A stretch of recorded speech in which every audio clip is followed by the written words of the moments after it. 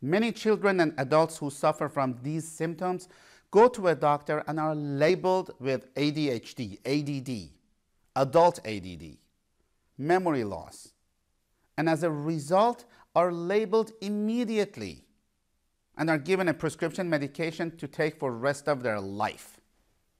The problem is these meds do not cure anything.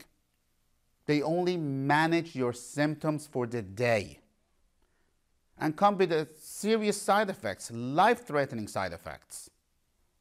The reason no one has fixed you or your child, it's because no one wants to fix your body. They want to manage your symptoms and label you with a condition name. Understand that when your brain is not functioning, you must address not only the brain, but the gut, and in most cases, your thyroid as well. The reason you have been prescribed medication and were told to take it for the rest of your life, it's because these meds only address the brain and ignore other contributing factors. So no one is addressing yours or your child's gut or thyroid. Simple as that. You may be saying to yourself, well, I do not have a gut problem. I do not have a thyroid problem.